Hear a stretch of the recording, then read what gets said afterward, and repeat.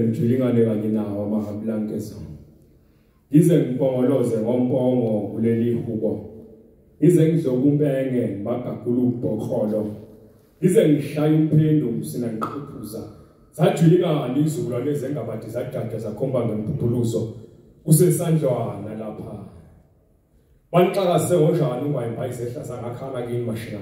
Saga sokubathi asithi amankengane afasiza amankengane ifindolo sosukulwini abakithi omashaqo abagwe bayaqakathisa oloqakathisa sakujujumeza zijoke zaza imjwaqo ngefana kwabo. Luyashisa uphondo olungole ebhabala hayi ngaseshobeni magudla mfuli yakhaba izithokazi nje zingezayo. Klabalasa wemklabalasi klabalasa wemklabalasi klabalasa wemklabalasi kayibuyelanga konini intshita ibambene ngesihluthe kandaba namankengane.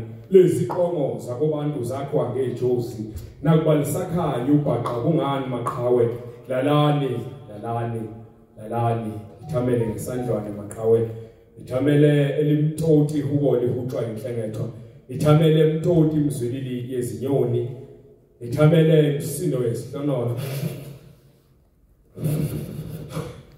Thamele emtoti imzwilili yezinyoni.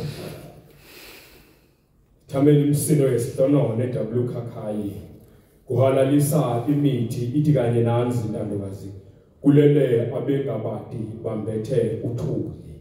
Aliwelanga emanzini yami iflege wamba bathe kubani uMelvin noKhohili bathe bethi befulahla lamokoshela iJozi lashila impethu iyaluze yazi yadini ingcongcoshila kushalazi idlangi bethane kandaba namankengane bayavungama naseqeleni kwanhloko.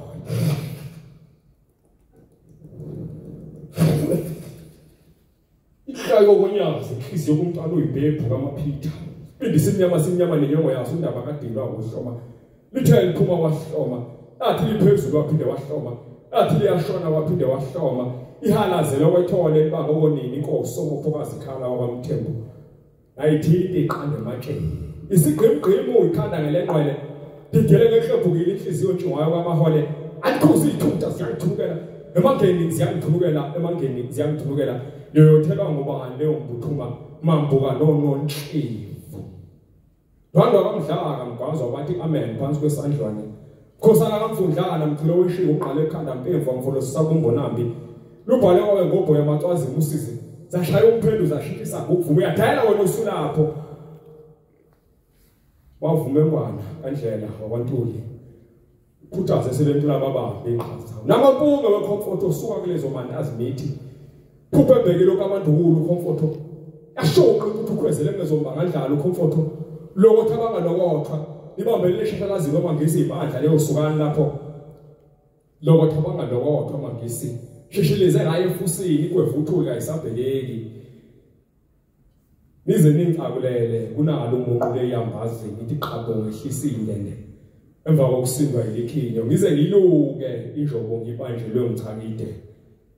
nawe thola omkhulu uzungiqande kulamahunguli ngize ngathi imbibila kunali ugqoko lwempundu uqotshwa ngabaholi. Walethe hlangana abakhosi udlungane lomndaba udlungane umbelebele